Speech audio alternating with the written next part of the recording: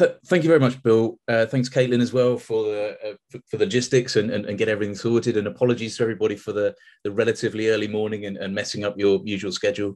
Um, it's a it's a real privilege to, uh, to, to come and speak to a distinguished audience. Um, I, I, I was lucky enough to spend three months over in Monterey and Carmel in 2015. Um, as I said to Bill just before this started, I could have quite happily stayed if I'd lost my passport. I wouldn't have been too upset.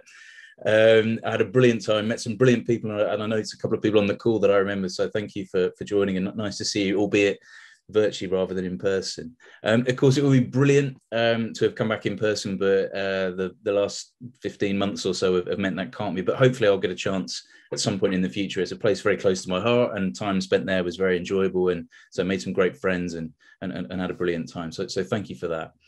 Um, what I want to do, as, as Bill said, this uh, this is a, a, a, variant, for want of a better word, of a talk that I gave a few months back, and it's a it's a talk to try and give a bit of an introduction to some research that that I'm currently working on, building a team to look at, and um, which I was very lucky to get some money from the European Union just before. Fortunately, we finally left. I think I just got in there before they decided to uh, not, not, not to do anything nice to anybody in the UK. Um, and that's to work on this, this, this broader project, which I've titled um, towards a third nuclear age and sometimes the, the nuclear revolution. And the basic idea here, and it's the culmination probably of 10 years worth of work, including work I did um, back in Monterey six years ago, of, of trying to understand the intersection of technology, particularly so called new or disruptive technology, and nuclear order. And this began with uh, looking at missile defense. It's um, uh, gone into some other sort of iterations as well, the precision strike and other stuff. The cyber book, of which the work I did um, back in, in 2015. Uh, and I'm trying to put this all together. So, so I was lucky enough to get quite a decent bit of money for this, which has given me the time, uh, the ability to hire a, a, team of excellent people to really investigate and think about whether we're moving into a new nuclear age, whether we should label this a third nuclear age. And I fully hope and expect there might be some pushback of that labeling. And if so, what do we do? How do we think about this? How do we keep ourselves safe going forward? And what I uh, intend to do today is speak for probably about 35 minutes or so and give plenty of time for questions. And as you'll see, there's there's some research findings here, findings here. There's some questions. There's some strands which I'm beginning to unpack. So, so I'm hoping that this will, uh, of course, be of interest, but also a, a, discussion and conversation that, that we can both benefit from going forward uh, too. Uh, I've just put my Twitter address and email account on there. I, I think Caitlin is going to make the presentation available um, to people. So if you do want to get in touch, um, pl- please feel free to do so. Let me see if I can get to there. We go. So, as I mentioned, this this project um, is actually the culmination, probably, of the best part of ten years worth of thinking and research, and goes back to some work I did with Ben Zala over at the who, well, formerly at the University of Leicester, now at the Australian National University.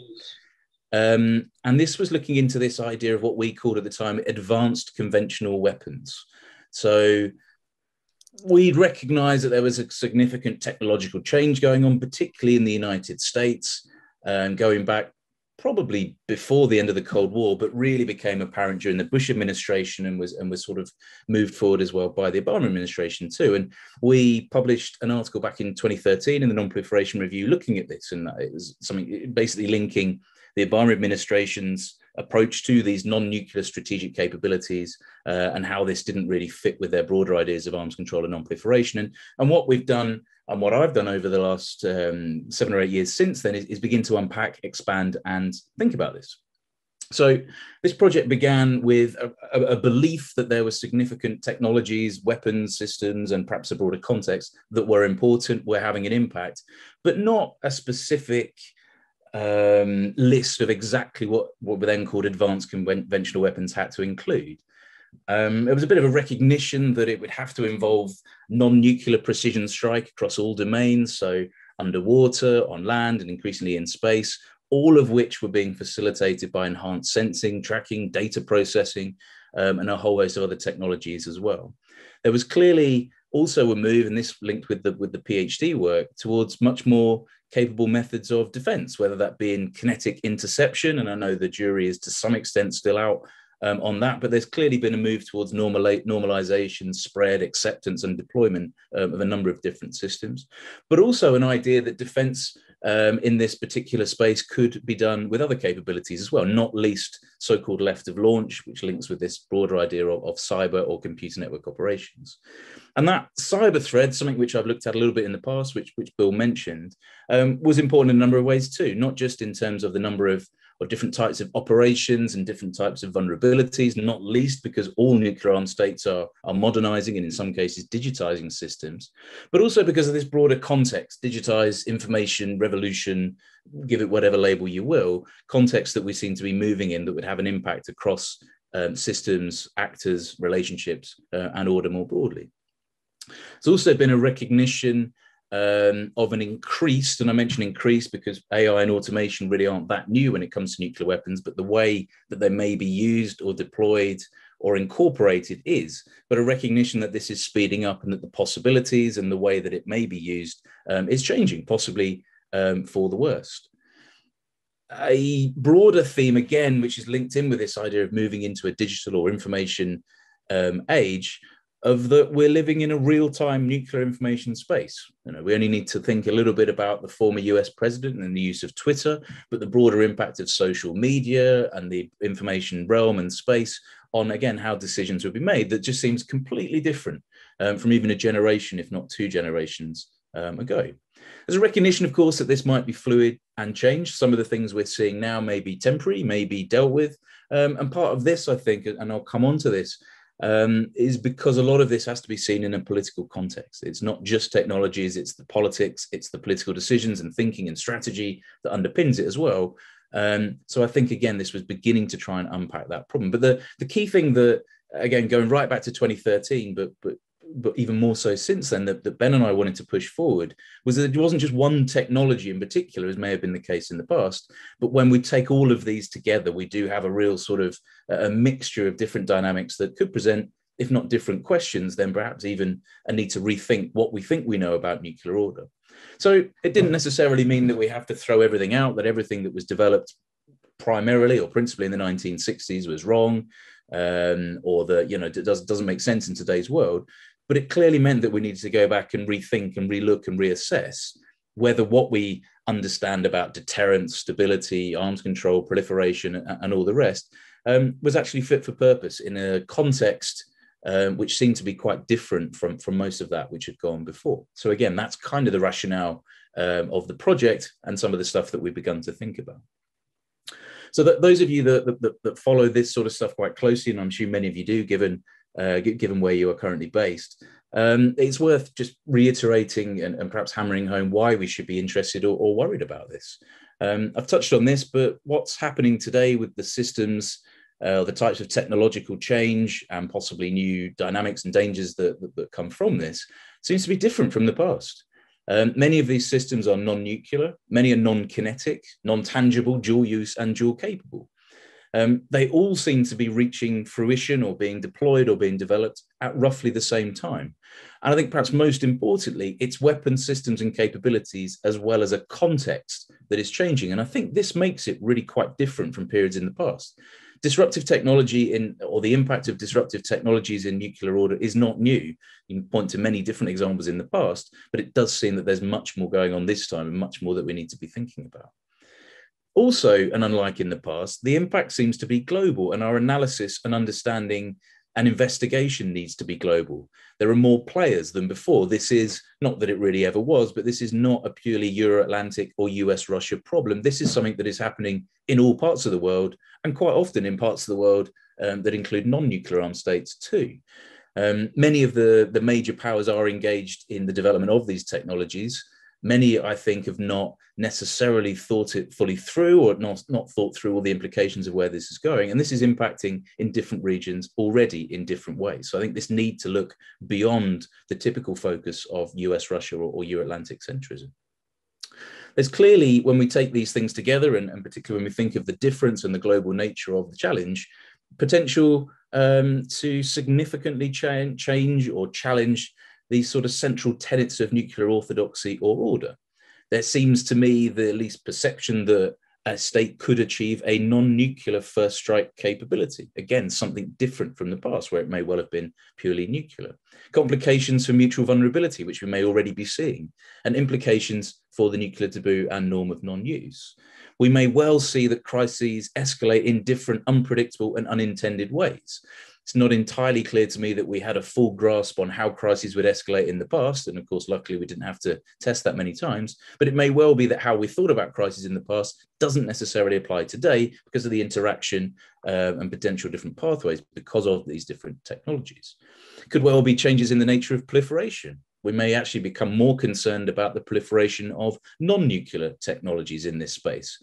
Uh, and this, as I'll come on to slightly later, could have implications for how we think about disarmament. Disarmament through technological reasons rather than political, ethical, moral, um, or even financial.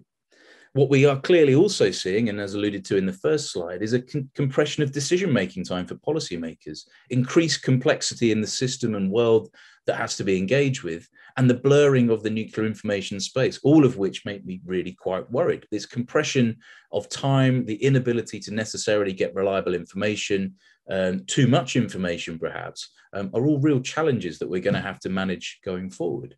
And then all of this kind of seems to suggest that um, there is likely to be an undermining of arms control and the frameworks um, of global nuclear governance. And we're already, I think, seeing this to some extent and beginning to see that we may need to expand, rejuvenate, or, or, or even replace some of these uh, mechanisms going forward. And this kind of all leads, and, and again, this is something that's built up over, over a few years, lots of conversation with different people looking at this in different ways, but creates the question of whether we have the political and conceptual frameworks in academia, in the professional world, and, and in government to fully understand and address this. Again, there is a concern about an overly or overly Western way of thinking about this stuff, a belief that whatever worked in the past will continue to work in the future. Um, without necessarily really interrogating whether that's the case. And of course, ultimately, we do base a lot of our assumptions about our nuclear world and risk reduction and, um, and nuclear dangers more broadly on a fairly small amount of data. Um, and that, of course, has it includes its limitations as well. Now, there is literature on on some of this stuff, particularly um, broader technological challenges. Some excellent um, material on particular systems, whether it be AI or hypersonics or, or, whatever else you want to look at. There is also some great stuff um, looking at uh, the complications in particular regional contexts or possible, uh, as James Acton puts it, entanglement between certain systems in certain contexts. But what I felt, and what this project tries to do is step back and say, well, actually, there's quite a lot going on here. It seems that there is a broader shift or a broader transition in what's going on. It is more than the sum of its parts. So, the way I tried to frame this or think about framing this, and, and as we'll come on to, I, I realize this is not unproblematic, um, is to think about this in terms of if it's a new nuclear, if there's some things really have changed, then are we on the cusp of a, a, third nuclear age, of a distinctly different period in our nuclear history where the rules of the game, the major threats, the major responses will change? Now, again, I'm sure you're familiar with this, that there is a fairly um, accepted, I suppose, to some extent, idea that we can split our nuclear history into a first nuclear age, which is broadly synonymous with the Cold War and focuses almost entirely on the, the US Russia central balance, the risk of major nuclear exchange, arms racing, etc., etc.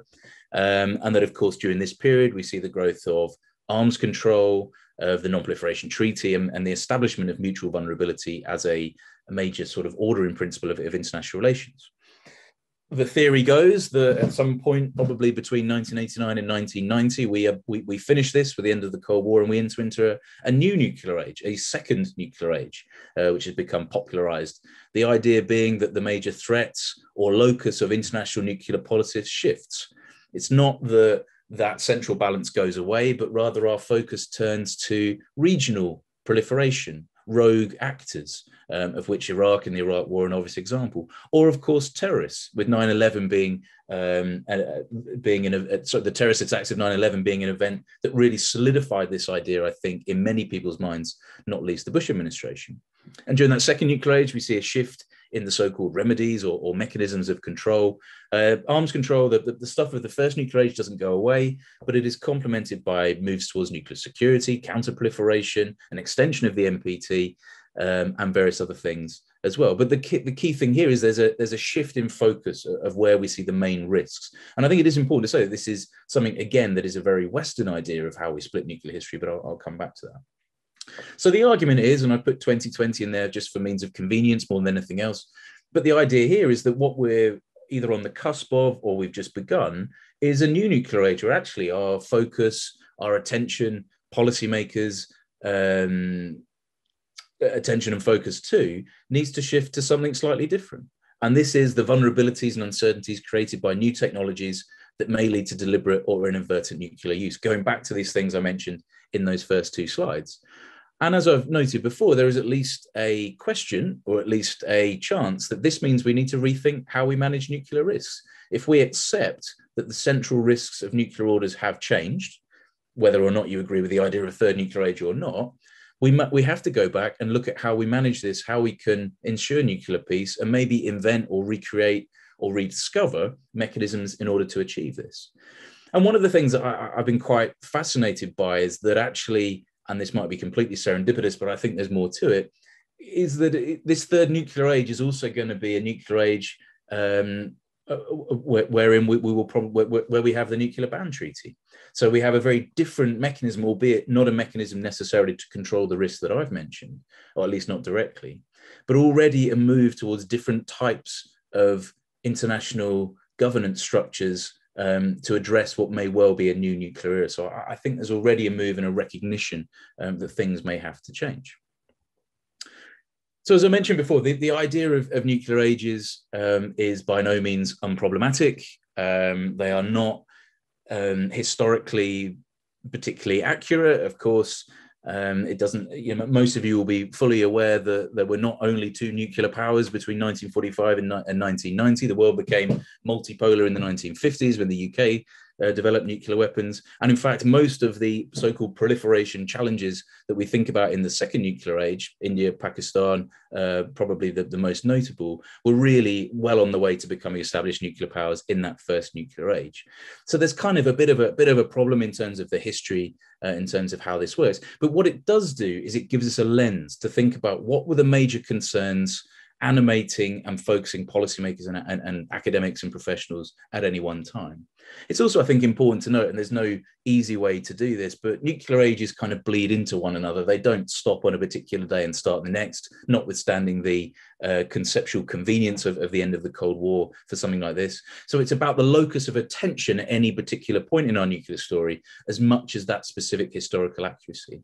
And I think one of the uh, there's a there's a great literature on this, including Paul Bracken's book and many others that talk about the second nuclear age and how it's a shift in terms of where we look. But I think the best book in terms of conceptualizing ages or nuclear ages is Colin Gray's second nuclear age book, where he actually talks about uh, what it means to shift between nuclear ages and how we might know um, if that happens.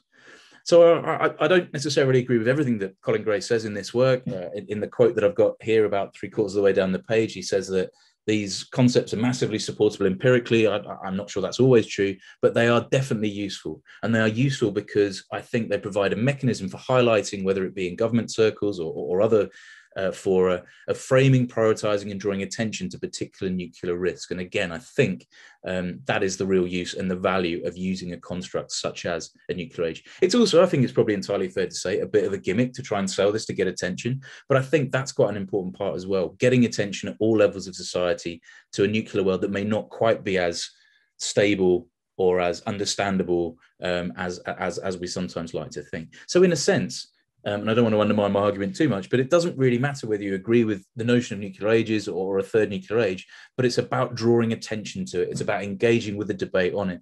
So if you you know, if, if the if the purpose or at the end of this talk we end up discussing whether it's a new nuclear age or not, and whether the technologies mean things are different, it's done its job. It's drawn our attention to it. It's made us talk about it. It's made us think through some of the dynamics that that label is is trying to encapsulate.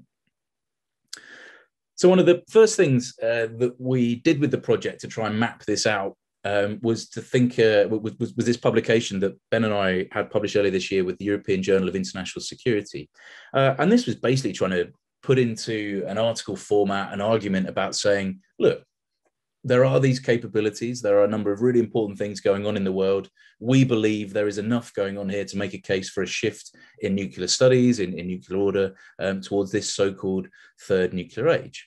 Um, we made a number of different arguments here. So, firstly, that again from the previous slide, that thinking in terms of nuclear ages is useful. Um, it is important and it has particularly been influential in, for example, US policy circles in how nuclear threats are thought about.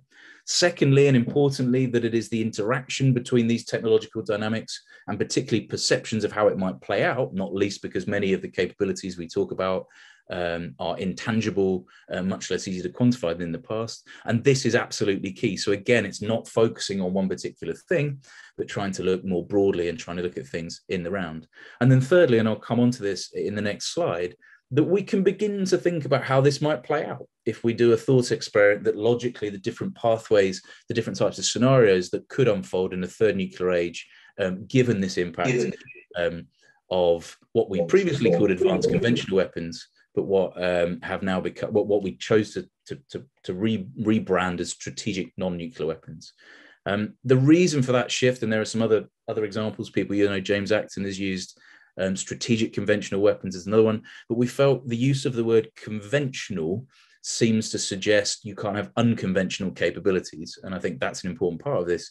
And by just putting advanced conventional, um, it could apply to a lot broader, a, a, much broader range of technologies where what we're really interested in is things that impact at the strategic and specifically nuclear level. So again, happy to uh, um, uh, be interested in what, what people think about that labeling. Um, but again, might be a subtle change, but I think quite an important one in terms of um, how we're trying to frame the debate. So the four possible scenarios that, that we came up with, and, and again, you, you may well be able to think of other ones. Um, this wasn't meant to be comprehensive, but it was a, a thought experiment to show you know, the different worlds that we may inhabit in the short, medium, and possibly long term.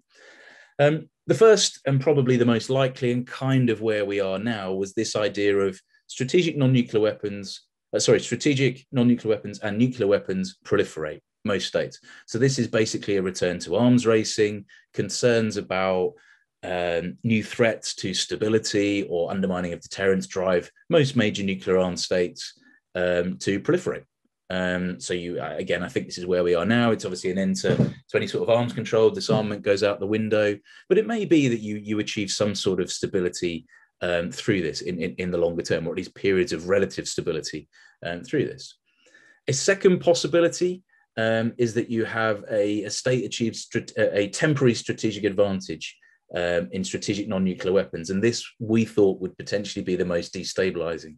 Um, it seems from our current vantage point, this would probably be the United States, but it's by no means guaranteed that another one of the major nuclear armed states um, couldn't achieve this in the future. And the idea here would be that a state would either achieve or perhaps importantly believe they'd achieved or the adversary believed that state had achieved um, a possible advantage a strategic advantage that maybe meant um, so it may, may, be provided for extra leverage and coercion and possibly even um, a non-nuclear first strike capability. And of course this would be the most destabilizing. It's possible that scenario two could emerge after um, a certain amount of time with with um, scenario one and, and, vice versa. So these may be fleeting um, periods that just arise um, th- throughout the, the, you know the, the, as we move forward.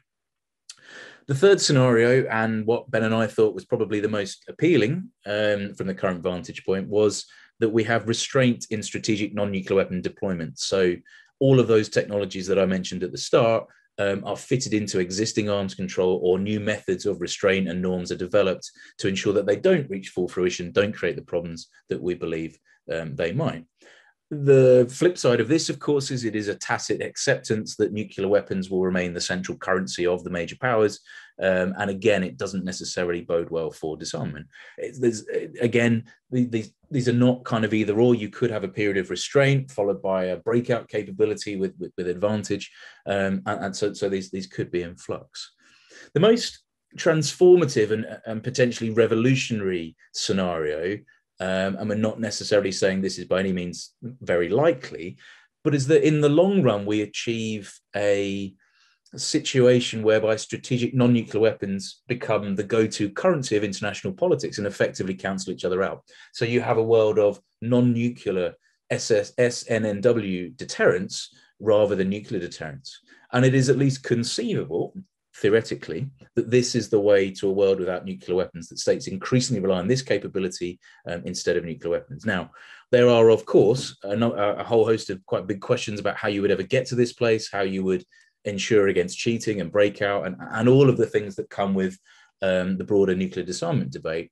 But I think it is an interesting way of framing this problem because it is, at least theoretically and logically, um, some of what you could get to in the long run disarmament through technology rather than those things, moral, political, um, normative, etc., um, that I mentioned before. Again, there may be other scenarios, these may be interchangeable. We thought this was a good way of beginning to think about and framing what the impact of these technologies might mean going forward.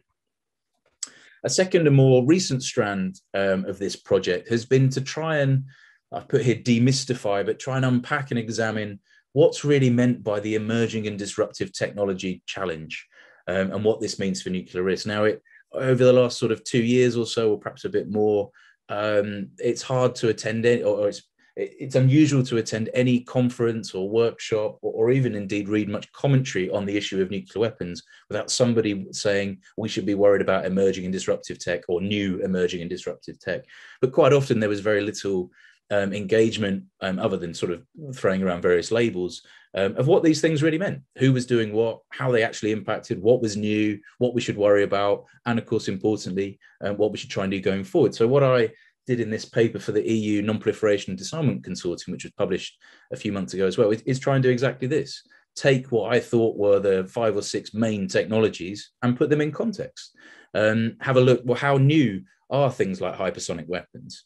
Um, how worried should we be about AI and automation? Where could it be? Where could it be applied or employed? Where might it? What are the reasons why it might be limited?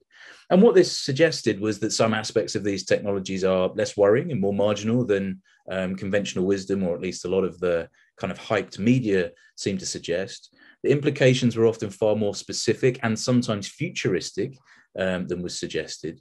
Uh, and that there was often this tendency, I think, for a conflation and worst case scenario thinking. So again, it was trying to drive down and say, well, okay, this probably is quite a worrying set of things. And I think they are from what from what you've said, uh, sorry, from what from what I've said to you at the start of this talk, but they actually might be a little bit more nuanced um, than is sometimes the case. And I think sometimes again, and, and this is is often a problem in, in the broader literature in, in terms of cyber. I certainly noticed it, but it, in our literature as well, was a kind of a, a laziness in terms of how various labels were being used and a difference in what they meant by different people. I mean, new, emerging, and disruptive technology all mean very different things. If you use new, you, you don't have half of the technologies I mentioned here, um, et cetera, et cetera. And then the final thing that I wanted to get through with this paper, and bearing in mind this was written uh, as a kind of a primer for EU policymakers and, and professionals, um, was that we should be very careful just to think or, or technologically stovepipe. So yes, there are technologies here that could be worrying or could be concerning and could lead to some of those scenarios that I mentioned in the previous slide. But this is a political problem. It is political decisions how they are deployed. Deployed. It is political decisions how these feed into existing relationships. It is political decisions how they are managed. So a more dangerous techno-military environment is not necessarily a foregone conclusion, and that restraint scenario that I mentioned is a possibility. So I won't. I, I won't go through through all of this. I can comment in, in the Q and A um, if people want more um, a bit more detail on them. And, and a lot of this is not necessarily new. This is kind of synthesizing what a lot of very smart people have already said about various technologies. Uh, I suppose I'll just pick a couple, but hypersonic weapons would be a really good example here. Now, that seems to be the almost like the, the poster child of the disruptive, new emerging disruptive tech challenge. Well, when you look into it, the hypersonic, the idea of hypersonic weapons is not actually that new. They're not that different to existing capabilities, particularly ballistic missiles. Um, speed is not really the great variant. Various other types of missile can be uh, maneuvered as well, and there's a whole host of other things which lead you lead, lead me certainly to suggest that hypersonic weapons should be much, viewed much more on a continuum um, and as an extension of existing capabilities than something that is entirely new. Um, another point, a point in the paper was to try and sort of say, well, what can we do to, to remedy some of this? And it struck me that one of the biggest risks or concerns around hypersonic weaponry was was how it's deployed and the lack of transparency. Something that appears much better in the in the nuclear realm, but there's a real concern here that hypersonic weapons that could deploy both nuclear and non-nuclear warheads may be deployed in ways that are very difficult for an adversary to ascertain, possibly deliberately, but that this had clear escalatory and misperception um, potential. And one of the ideas I floated there, I don't suppose it's very likely, but was to think along the lines of the INF about how you could um, prohibit certain types of hypersonic deployment in Europe, or at least um, make sure you were very clear about where certain types of system uh, were being deployed. And of course, let's not forget, um, there's no reason why, given the hypersonic boost glide um, capabilities, quite often will be launched by a, a, a, similar launch vehicle to a ballistic missile, that they can't be included in similar things such as New Start and New Start follow on, um, which, which, prohibits those types of things. Um, it's probably worth mentioning cyber as well. I mean, as, as Bill said, I, I, did do a project previous to this looking at the cyber nuclear intersection. And that was one of the reasons why I wanted to look more broadly, because it became very clear that looking at cyber in isolation just kind of didn't capture the whole picture. But I think there's a, there's a number of things that are that are worrying in, in, in this realm. The one that really worries me, and there's not huge amount of information on it, but that there's bits that sort of come out every now and again, is, is this idea of left of launch. So traditional kinetic um, ballistic missile defense deployments, which is you know radars, satellite, shoot your interceptor missile to to intercept an adversaries, um, has been problematic enough in the past.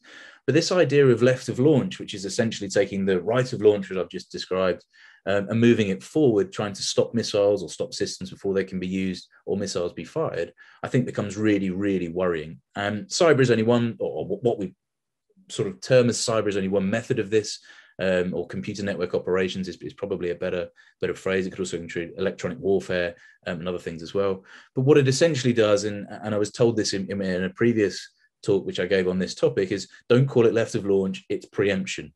Um, and I think that pretty much captures uh, where we are with this. So, so the risk of seeking to mess around in other people's nuclear systems so they don't work is a massive worry, uh, and that is uh, that is sort of a, a, a, an amalgamation of BMD, cyber, um, and precision strike all in all in one go. And, and, part of the reason it's so worrying is that unlike with um, right of launch traditional BMD, you can't see this stuff. You don't know what the capability is. You don't know um, where it's deployed. You can't count it. Um, so it becomes very very difficult. And again, it increases the fear and potential for, to, for, for, misperception. And of course, even the possibility that somebody might be doing this. I'll give an example that the United States uh, could be messing around in North Korean missile programs. Doesn't even matter if they do or not, the idea is already there, and that's already powerful um, in its own right. I, will also just quickly mention a couple of the other technologies which I haven't looked into, but I think potentially are quite important in this space. So nanotechnology and, and the whole idea of mini nukes. There may be people on this call that know more about this stuff than I do. The possible impact of quantum sensing, including uh, quantum clocks and various other things on how you might be able to find stuff um, particularly underwater or, or in other things, um, but a whole host of other things that come with that as well. And almost a rediscovery of the importance of directed energy weapons. Um, it's never really gone away in the missile defense mission, um, but I think could also have an impact across many of these other technologies as well. And three broad points that I that, that I brought out of that and that I think we can take away um, is that when we put this together, um, there are increasingly credible or at least conceivable ways that you could threaten so-called secure second strike forces.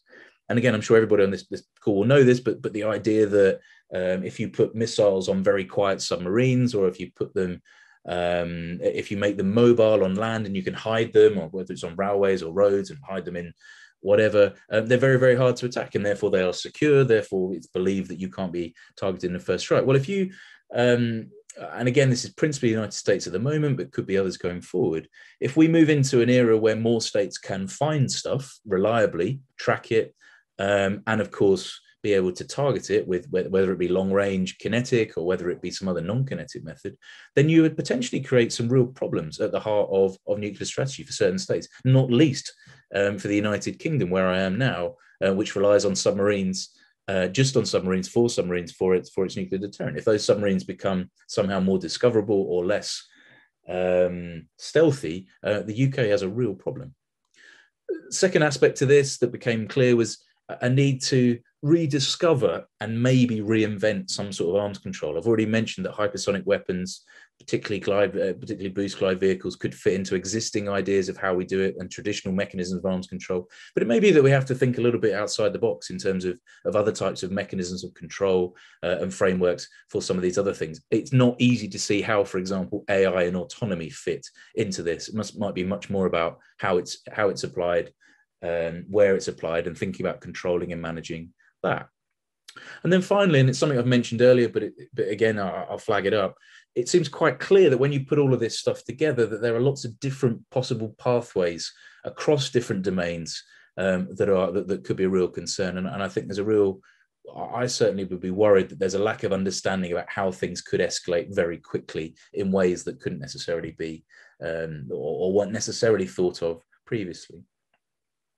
And then the, the, the final part of where we are with the project now, and perhaps the most um,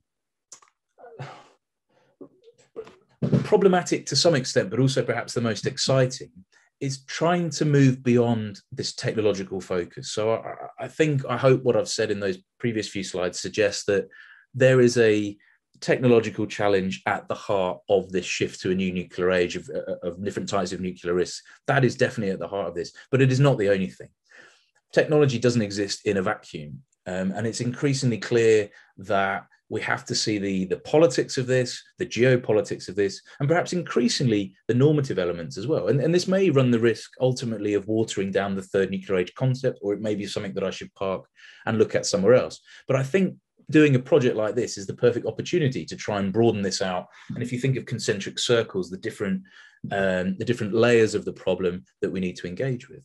So the first part, and something that I've begun working on with Ben, is, is trying to link this idea of the third nuclear age, strategic non-nuclear weapons, the return of kind of um, nuclear great power politics. Um, the, there's a sort of an idea that again fits into the nuclear ages literature that the, the first nuclear age was really all about the US and Russia. The second one really was about US nuclear polarity to some extent, or certainly unipolarity. Um, and that this new nuclear age will be the first genuine multi-power multipolar nuclear age where you have india china russia the us and potentially others using nuclear weapons understanding nuclear weapons as an important component of statecraft. Also we've seen by many of those actors less so perhaps india um, a return to nuclear rhetoric. Um, and I think there's some quite important links there between the role of nuclear weapons, the return of, of great power politics, uh, and perhaps a shift or a transition in the axes on which global uh, nuclear politics and, and, politics more broadly are based. So I would see that as the second concentric circle that's going on. And of course, decisions taken by the leaders in those powers will have enormous significance um, for how the, the impact of these different technologies in the third nuclear age. Another aspect of this is trying to look at the relationship between technology and politics from a different angle. And this is where I've been very lucky with one of the members of my team, Cameron Hunter, who's a uh, who's got a background in science and technology studies and, and, has brought a very different angle to this, and particularly the idea of um, not baying to technological determinism, but trying to understand the relationship between technology and politics from a society point of view, from a policymaker point of view, um, and also therefore understanding the potential um, to understand how certain decisions are reached, how certain technologies come about, um, but also therefore hopefully how to control them as well. Uh, and one book that I would recommend on this, uh, anybody that is interested more broadly, is, is, Donald Mackenzie's Inventing Accuracy, which basically charts uh, the US uh, nuclear warhead program uh, and how it basically warheads and, and, and, missile systems became more and more accurate, not really because of any strategic rationale, but because of various politics and various other things that were going on at the same time. And I think that's something we can we can use here and take from when we begin to think about how we manage and mitigate some of the challenges posed by technology, of, of making sure we consider them in their technological and sociological context. A slightly less developed part of this, but I think increasingly important, is how we understand nuclear risks more broadly and the level of both elite and public level interest with this. Now, it's probably not surprising that at the moment nuclear risks are not at the top of everybody's agenda. People are focused on COVID, and um, perhaps quite rightly, and, and pandemic pandemics more broadly. And before that, um, on climate change and global warming is a major thing.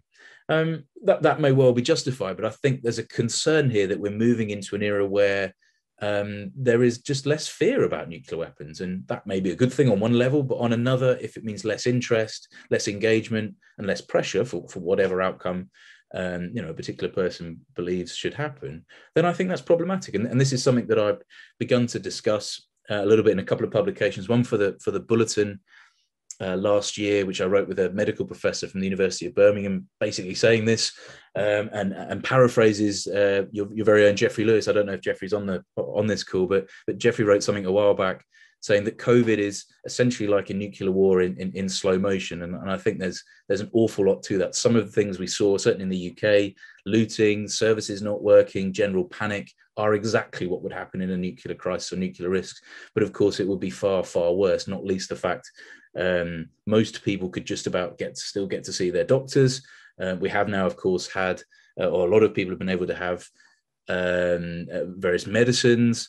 Um, and, and, of course the broader drive to get everybody uh, inoculated. Well, this is just not going to be the same in in a nuclear war. So I think there's a really interesting analogy there, and we can think about to bring people's attention back to these challenges.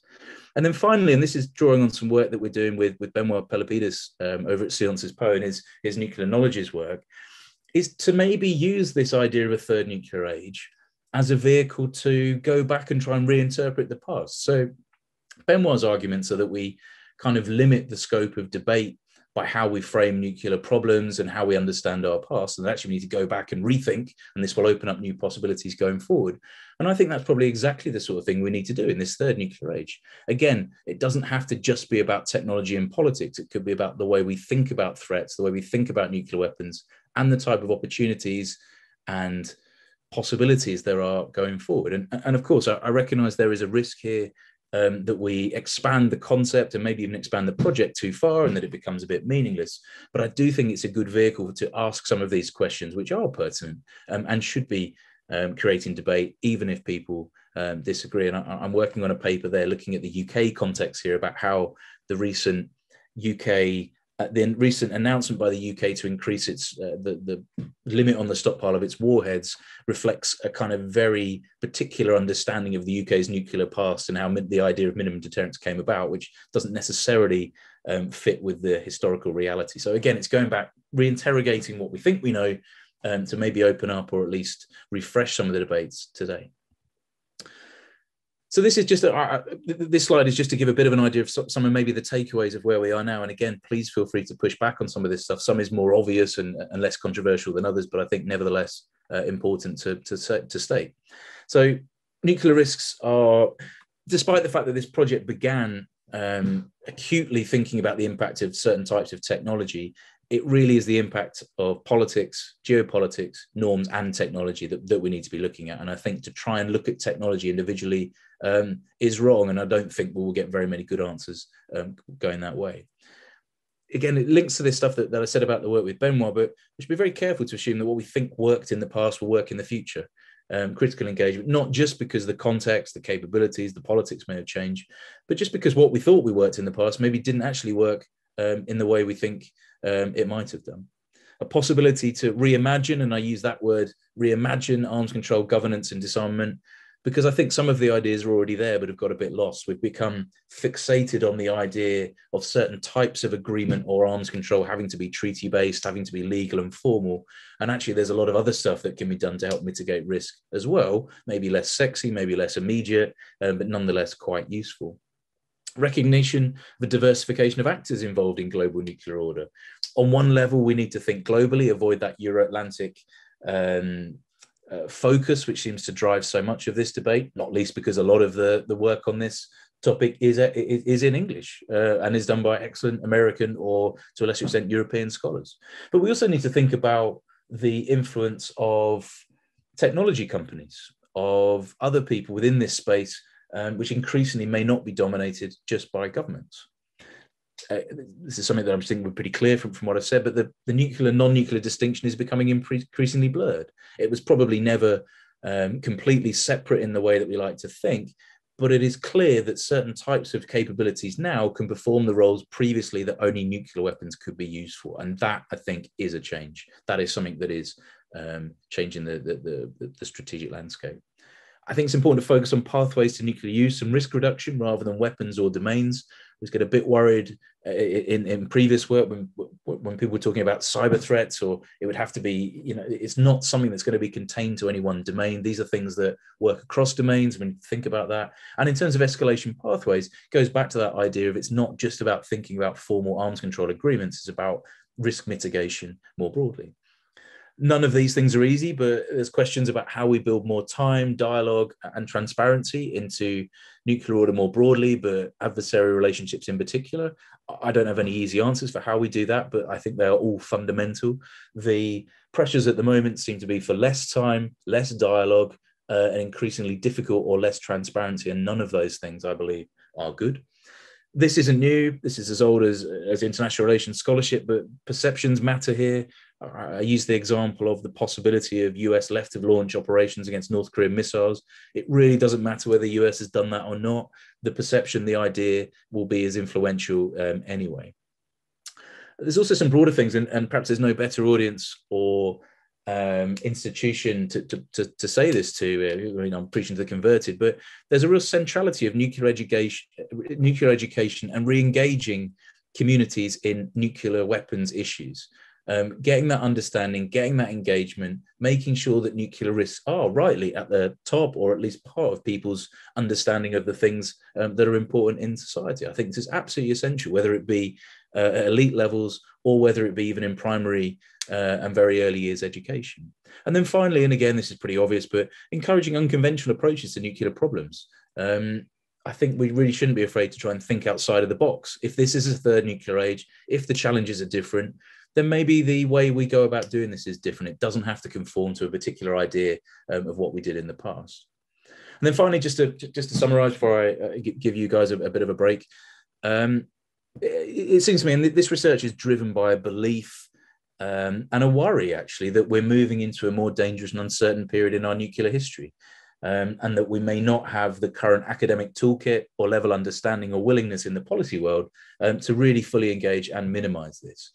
I've got no way of quantifying or proving this, but it strikes me that the, the risk of, of, nuclear weapons being used in some way is probably rising rather than falling. And of course, let's not forget that we have at least a part survived the past because of a bit of luck.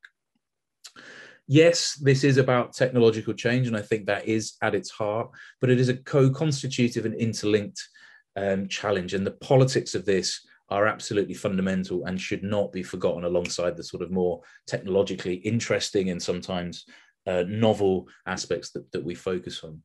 And again, never before, disruptive technologies are not new. The politics surrounding this is not new.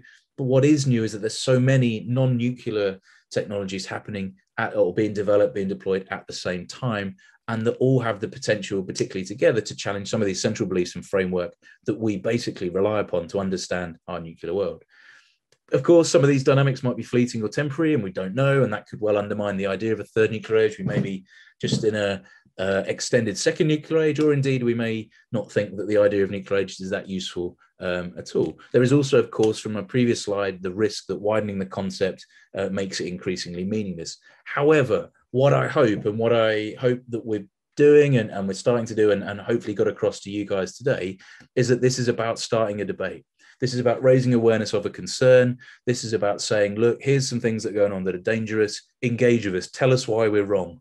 Um, let's start. Let's think about this and let's work through it. Because I think only by doing that and by building people that are interested with different perspectives on this, um, can we manage the challenges in the years ahead.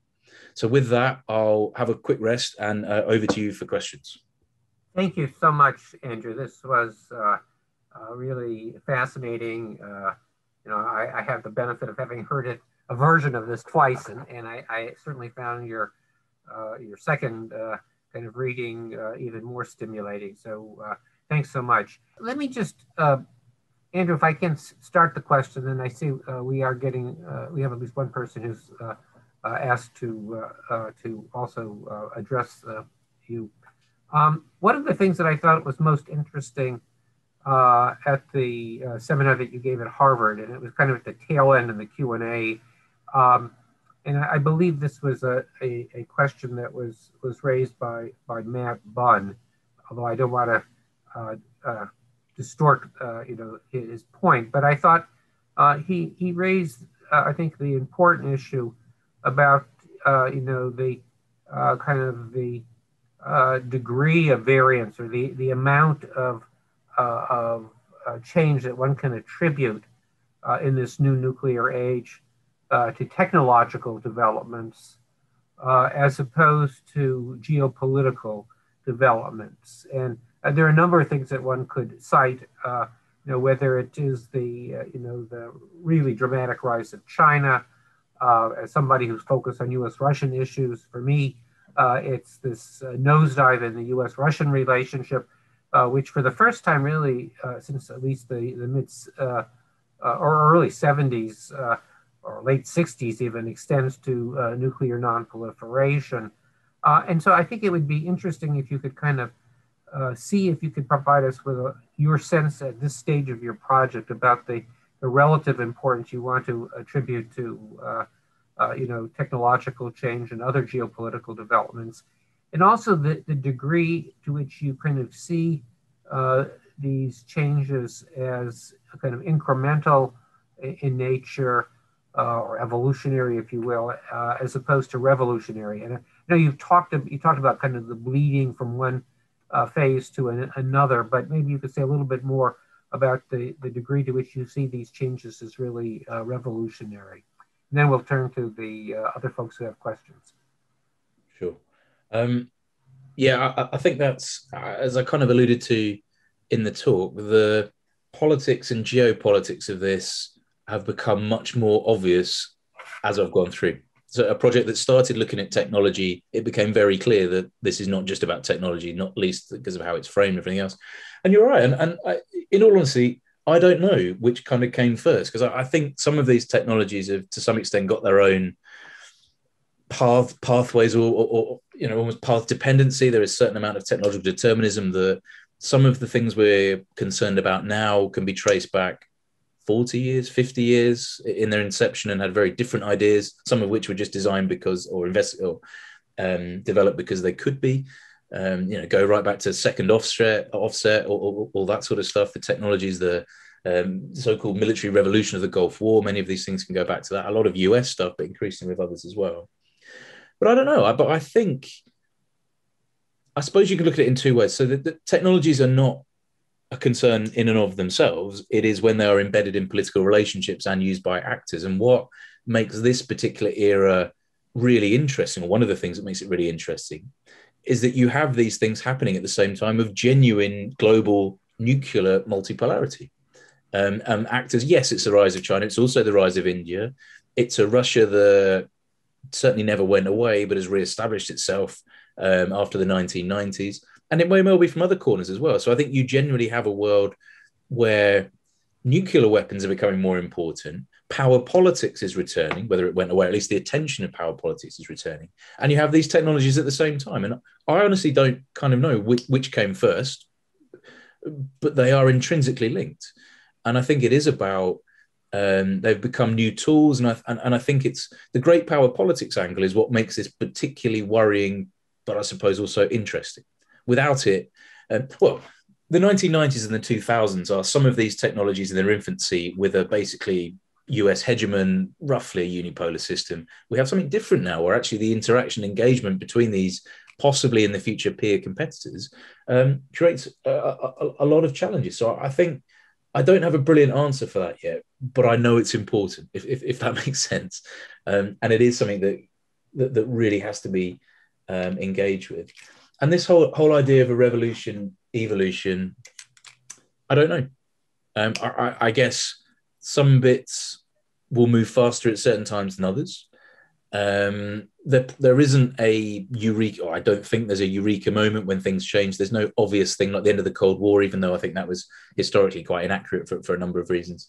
Um, what we might think of is a kind of a punctuated evolution where we keep moving to different stages of this and I suppose the other worry with, or one of the arguments you could make about this whole idea of a third nuclear age is we might already be in it.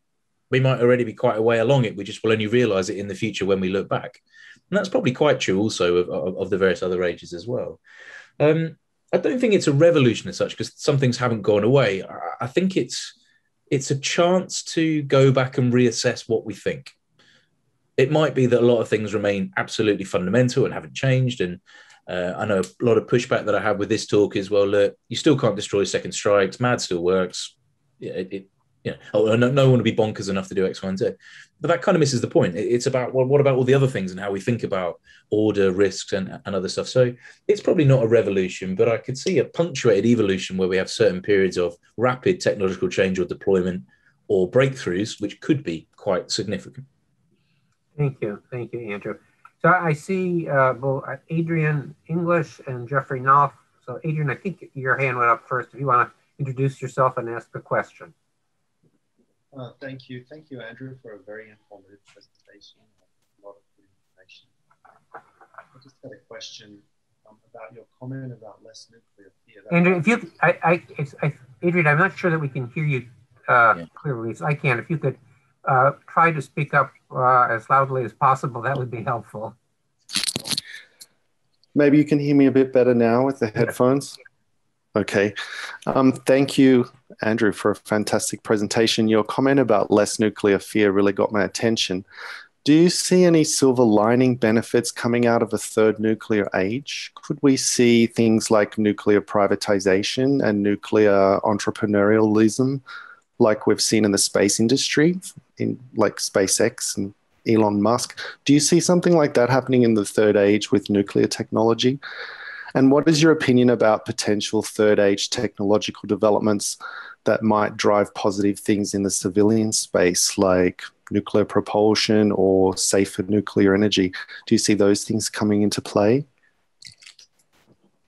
Yeah, some, some, some really good questions. And that kind of um, positive aspects is, is always something that, that I get asked about. And, and I think there has to be polit- positive aspects, but it goes back to the politics question. It depends how these things are done, um, decisions taken by officials, if they're regulated, and, and a host of other things as well.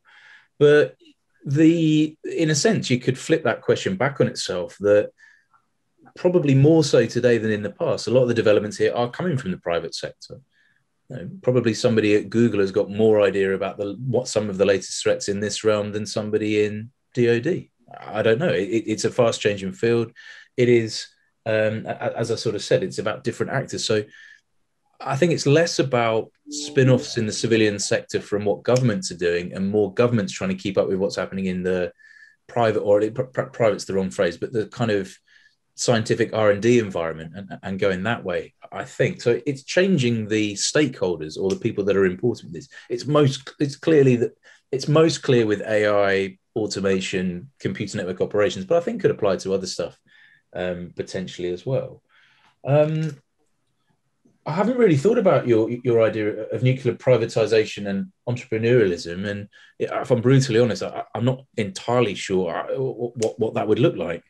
Um, I can't see governments being keen to. Um, well, I, I, definitely can't see governments giving over responsibility for nuclear use to companies. I, I don't see anything like that. I, I, don't know if I quite engaged with the question, but uh, in this, the nuclear space has always been a bit different, and rightly so. Um, and I think it will probably remain the preserve of governments and probably just a handful of people, the so-called nuclear monarchy, um, as uh, I think Daniel Deudney described it, or nuclear priesthood, sorry um, going forward. And then your final question, less nuclear or, or about less nuclear fear. Um, or, or, that was your comment, sorry. But uh, on, on one hand, that's a good thing. On the other, I think it's a bit of a concern if people don't understand the world that we live in. And the analogy, so I, I'm not, not quite old enough to remember this, but the analogy that I always think think of is how worried people were in this country in the early 1980s right? The spate of films, TV stuff um, that came out, a real climate of fear around nuclear war. 1983, of course, being the sort of the culmination of it. Um, and we just don't have that anymore. And, and some, some extent, that's a good thing. But likewise, and I remember when I came to the US 10 years ago and did some research for my book on missile defense, a lot of people said then the big difference today is from Star Wars era um, much fewer people really understand these issues. And I'm not just picking on the US, I'm not just picking on the Senate. I think that's probably true across the board. So it's that kind of public engagement with nuclear risk, and whether that's engagement that says, "Well, I'm more engaged now. I think nuclear weapons are good," or whether, or what, whatever it is, the importance is the engagement and the understanding.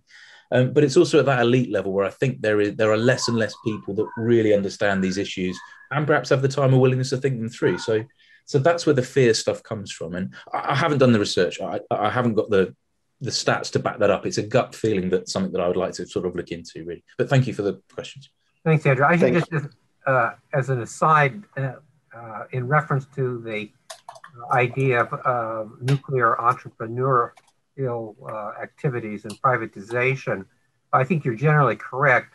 I mean, I recall writing one of my first op-eds in the New York Times uh, in, I think, 1991, dealt with a um, a group of, of Soviet, uh, recently Soviet, uh, now Russian uh, nuclear entrepreneurs uh, from one of the, the uh, nuclear weapons laboratories that had formed a company called the Chetek Corporation. And uh, they were marketing internationally the use of nuclear explosions for environmentally uh, sound purposes, in particular the disposal of chemical weapons, among other things.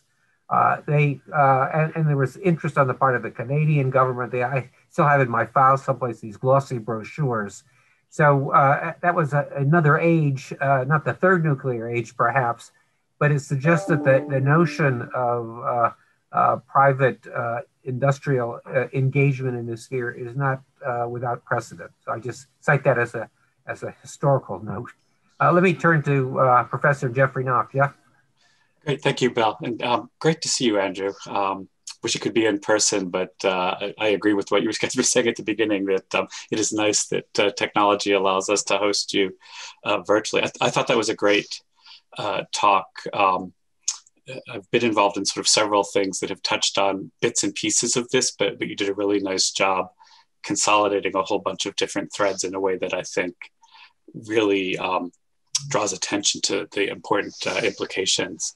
Um, I'm not sure I have a question per se, but I have sort of a few thoughts uh, I want to share. Um, one of which um, segues perfectly from from the, the question you got from uh, Adrian and, and your response. Um, you know, I've I've been thinking for a number of years now, off and on, about um, just kind of what the passage of time means, and that that um, you know, to me, I think part of what helped maintain, you know, nuclear peace and nuclear stability was that there was a, a healthy fear of nuclear war, and you had national leaders in the key countries who had lived through nuclear crises uh, and understood that you know you have to be very careful not to sort of go too close to the brink, right? And, and today, outside of the India Pakistan context, that that's not true anymore. Right? There's nobody in the U.S. or Russian government that has a firsthand memory of the Cuban Missile Crisis or the uh, Ussuri River, you know, conflict or something like that. And so, this um, lower kind of visceral appreciation of of the dangers of nuclear weapons and nuclear crises, I think, is is one of the many threads that, that makes it, it, tougher to maintain nuclear stability. Uh, and I think what you have helped highlight for me in my mind is that the big difference from now in the 1960s is, you know, in the 1960s, we thought stability was a function of the nuclear balance, right? If one side has a secure second strike, the other side has a secure second strike, it's stable, right? And we don't have, we have to do anything else. And I, I what I'm taking is the number one implication of your work is that that's just not true anymore, right? That, that stability could be undermined by this massive array of new and newish technologies that have come online. Um, so I, I want to kind of just share share two things with you. One is is another talk that we had uh, recently that's really on point for one of the things you were talking about. Um, uh, our student uh, chapter of Women in International Security a few weeks ago had Jackie Schneider from, you know, Hoover give a talk, and she reported on these war games that she's been running with um, uh, Reid Pauly and, and, Eric Lin-Greenberg that are the intersection of cyber and nuclear, right? And across a bunch of different national contexts, so this is not just U.S. Um, if they give one side in in a in a crisis, a nuclear uh, impl- implications crisis, uh, the idea that they have some kind of cyber exploit where they could successfully launch a cyber attack on the other side preemptively. They almost always do it, which just set my hair completely standing on end. It, it, completely horrified me. But it's a perfect illustration of what you're talking about that stability could be undermined because somebody thinks they have a cyber advantage and they try to preempt. You know, don't think of it as something that could could trigger a nuclear war. So there's a lot of synergies there. Um, so my, my final sort of comment is is one where maybe I, I can make it a question, which is I don't know that there is a sort of mutual restraint or arms control solution here. Like I think, you know, the genie's out of the bottle, as they say, right? These technologies are coming online. So it, it may be back to recreating that sort of healthy fear of nuclear war, making sure that the top leaders in all the relevant countries just have this visceral awareness that you know like hey just because i have a cyber exploit doesn't mean i should do it like this is dangerous stuff and and recreate the the sense of caution and self-restraint in the minds of elites. Uh, so I'm just wondering if you have any thoughts about things that would would contribute to making that uh, you know that sort of um, uh, what I guess I've started to call in, in a, a, sort of paper I have in circulation sort of the cognitive uh, base or cognitive foundation of stability. Can we how can we strengthen that cognitive foundation? Thanks very much, Jeff, and uh, nice to see you too. Hopefully, uh, hopefully we'll I'll see you again in person soon. Um, thanks for the comments. I think I think re- really really useful ones. That the, the, point you made about the war game and Jack and stuff, and that people use the cyber exploit, I, I think is really worrying because that if the other players know that that might be a possibility as well, that causes all sorts of problems. And there's all this stuff about well, if you've actually got it, how confident are you? Is it misplaced confidence if you've got it? Would you, and, I think it's, it's a bit of a minefield. Actually, it begins to get um, increasingly problematic. Um, but I think it does go to your bigger problem that there's just a well, almost like an apathy, I suppose, amongst various different parts of, uh, of global populations. I think um, perhaps perhaps less so in South Asia, but, but but I don't know. It's something that I want to talk to people there and find out a bit more about. But um, I, I guess the the answer to it is thinking about who you're trying to impact or, or on what you're trying to get them to think. I, I, I don't know how you make policymakers more worried about this, other than explain things very simply and say this is where it could go really bad. Um, the methods that I think seem to work quite well in the past for more broadly, and indeed, you know, possibly even for Ronald Reagan and various other people, is the use of films, or, or, or perhaps you know we come forward a few years, but various forms of media. Um, because I do think that had a real impact. If you watch, what are some of the great? So was it the day after um, War Games is then? That's a bit different, of course, but also um, the uh, the UK one that, that, that name escapes me. Um, that was really really graphic. Um, that's a way of scaring people. That's a way of saying, look, this is awful. Yeah, I think I think that film was Threads. Threads, that's it. Yeah, where, where Sheffield got, or just outside Sheffield, and, and there's a population of Sheffield, isn't it? That get bombed. I'd recommend that to anyone that wants that, that doesn't want to sleep for a week. That's um, but it's um, I, I think that's a way of doing it. I, have also toyed with an idea. It's not really related to this project, but of how you get this sort of stuff. And it'd be interesting to know if you guys are engaged in this into fairly sort of primary early years education. Um, it might might seem a bit bonkers. I mean, my, my partner's a, a deputy head at at a primary school over here, and um, I don't think she wants me going and scaring all the kids. I think they have enough things going on to worry about. But but there is something to it about how do we inculcate this idea that this is something important. So, so I would suspect you will learn about climate change now at primary school. You will probably now increase where well, you'll be very familiar with the idea of pandemics. Um, then maybe we need to push this to say this is something that people need to be aware of, at least some basics. And I think I think a, there was a Ladybird nuclear weapons. I don't know if it was Lawrie Freedman that did it or someone did it, but a Ladybird nuclear weapons book. But stuff like that I think is quite important. How we reach. So I think actually that's more clear cut how we do it, whether it's more likely. But in terms of policymakers, I, I, think it's finding people that are willing to listen and getting them in a room and being as simple as putting it as simple as possible. Um, having people that are, you know, that are good, and also having people that go into government that are that are interested in this stuff.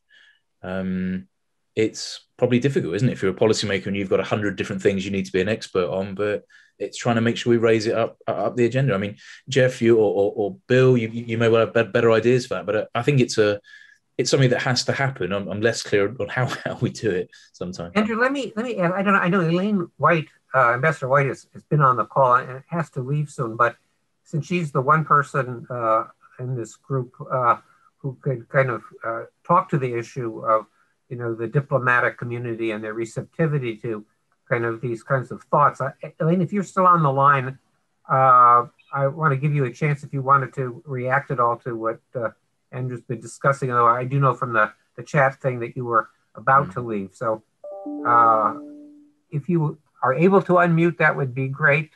Uh, but if not, I will understand it and uh, we'll have to pass here.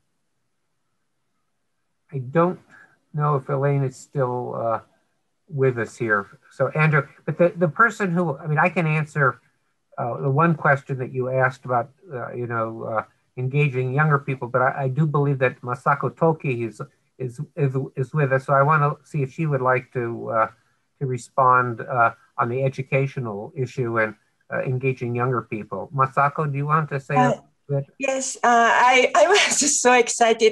Hi, Andrea. It's good to see you. I really, really enjoyed and uh, where I was looking at your 10 points, like uh, moving forward, I really believe that uh, the combine, you know, we have to implement all of these. Each one, each point is really great. But uh, as a strong believer of the power of education, and uh, I'm, as Dr. Potter mentioned, um, I'm very passionately working for the youth education, especially high school students. Uh, currently, I'm engaging Japanese, Russian, and American students. But uh, I really think, but uh, in the process of uh, conducting this process, I kept thinking how we could engage more young generations. Young generation really don't have a, a, sufficient opportunity to be exposed to this topic. But once they learn their interest and um, really enhance and uh, some of them are really committed to work for uh, nuclear field. And I also invited uh, uh, undergraduate students to this meeting, uh, incoming undergraduate fellows. So I strongly believe the uh, importance of uh, education. But actually, I also wanted to mention obviously, I'm originally from Japan, and I'm also following some Japanese publication. And interestingly, the very recently, I'm sure that you are familiar with the Nagasaki University's new research center.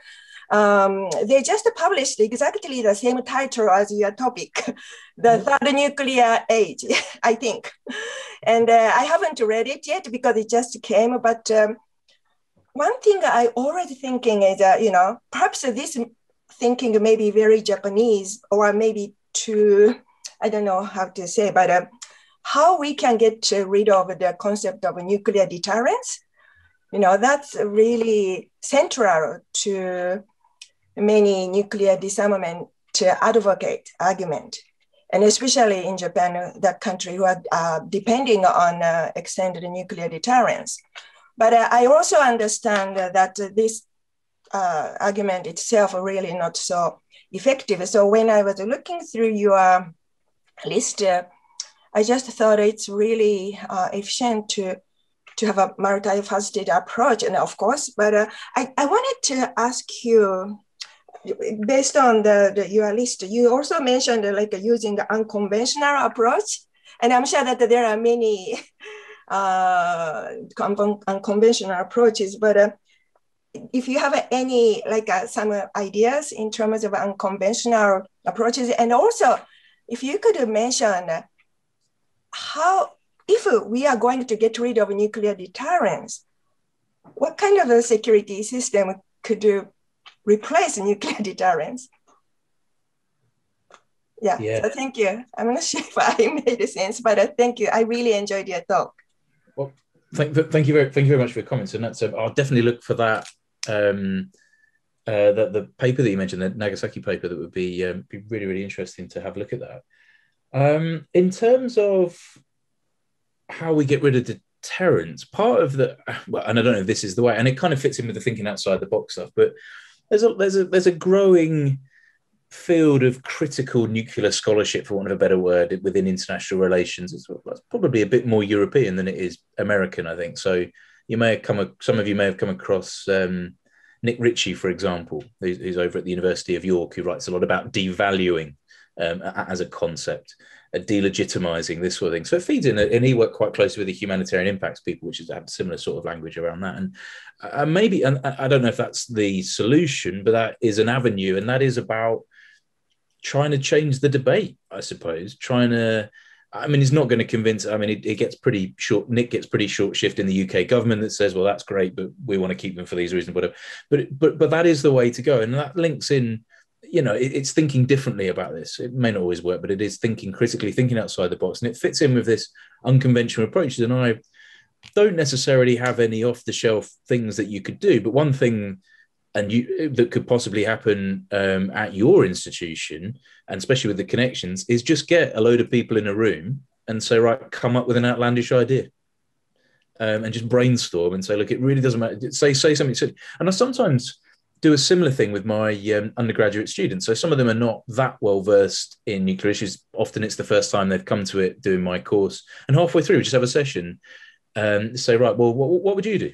So what's your solution? And sometimes because they haven't been spent all the time thinking along certain in certain ways, come up with very different ideas, of different ways of thinking about problems. So it's, so I don't have any off the shelf ideas. I just I, I just think it's so important that we encourage people with things that might seem wacky I don't know that, that you have. I know Heather Heather Williams has written about asymmetric stuff. That's an obvious place to go, isn't it? But lots of things like that about how do we getting away from ideas of numbers and quantifying things and legal agreements and even um, declarations not to do something is a form of arms control, right? I mean, it's not as it's not as brilliant as if you can get a legally binding treaty, but it, but it helps. Even you know certain actions, certain things you do. So it's it, it's trying to broaden it out and and not having to not letting the perfect arms control agreement get in the way of some of these other things which can help um, stabilize more broadly. But but I think it is about finding a space and also getting different voices in. It's it, I'm sure you've found this and, and others on the call have found it as well. But um, because of the crossover with some of my work between cyber and nuclear, I've been lucky to meet a lot of sort of um, information technology professionals or computing professionals. And they have very, very different ideas about these types of problems than I do because they come at it from a completely different perspective. Um, quite often they tell me why, well, that can't happen because of X, Y, and Z, or, or, or actually be worried about this.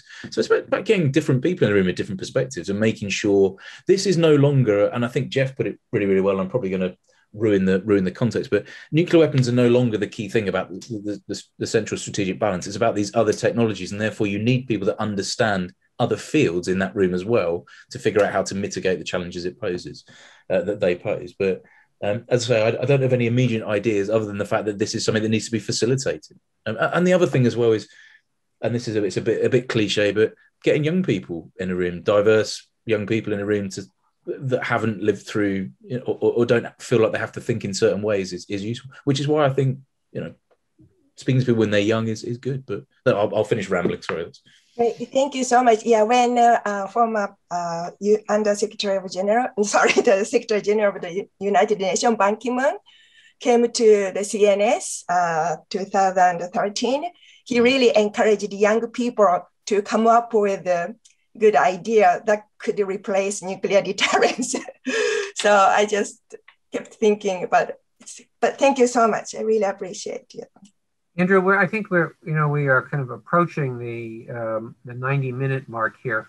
The one thing that, you know, comes to mind um, in our discussion here and uh, the fact that Elaine White left before we had a chance to kind of call upon her. Uh, one thing that we could actually do, I think, quite readily, uh, predict, particularly in this environment where people are uh, uh, more likely to attend a virtual call than to perhaps travel uh, for a meeting, uh, and we can talk about this offline, but uh, I think we could probably assemble a fairly significant group of uh, diplomats uh, to kind of hear your presentation. Uh, you might kind of gear this particularly to a, uh, you know, a, a, an audience of practitioners as, as opposed to, to scholars and, and, and, and students and try to provide you with some feedback. I mean, I think it would be useful kind of, you know, uh, kind of a, a mid-course kind of correction. Um, and there's certainly, you know, individuals. I mean, Alexander Kmentt has just come out with a, a new book uh, dealing with the negotiation of the TPNW. But uh, I think if, in fact, the review conference is postponed, as I as I believe will be the case, uh, maybe doing something either uh, you know the summer or in the fall, uh, we could organize this uh, if it made sense from a time standpoint. I could also ask one of our colleagues at the Vienna Center to organize this, and I think it would be a you know a really interesting uh, forum. So. Uh, let me suggest that to you if you're interested. We can maybe collaborate in, in organizing that kind of a gathering for you. That, that, that would be absolutely amazing. Something like that would be brilliant. I mean, the, the it, well, as, as, you know, working in this field, it's that's who you want to get through to, right? And, and if I if I'm barking up the wrong tree, if these things have already been thought about, brilliant. I'm pleased. um, but if it, it's about getting feedback from the people, what's useful for them, what what do they need to understand this or make the case or or whatever else, that that would be incredibly useful. And it's I think it's one of the things in this project that I want to do is keep going back to people and saying, look, here's some ideas. Are we going in the right direction? What do you think? What are we missing? Um, and also that thing about, I think it's more more of a problem in the UK than it is in the US, but making sure that some of the products of this research are usable by people. That it isn't just a book that you know most people won't read, and policymakers definitely won't. So I think that's really important to to, to understand the needs of those people to, to put this stuff in action as well. We will we will plan to do that. Uh, let me uh, express uh, appreciation on behalf of, of CNS uh, and the Friends of CNS for uh, a superb presentation, a very stimulating one. And uh, I really hope that in the not too distant future, we can ask you to uh, give a seminar in person in Monterey. So we look forward to that. Uh, please join me in thanking our speaker.